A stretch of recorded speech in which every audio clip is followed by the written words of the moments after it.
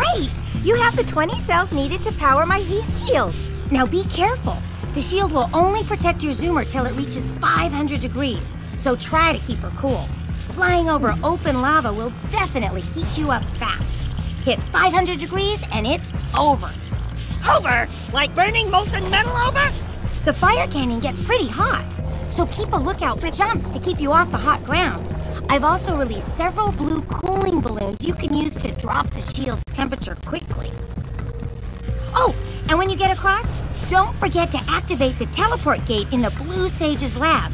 Then we'll be able to teleport over and meet you. Good luck!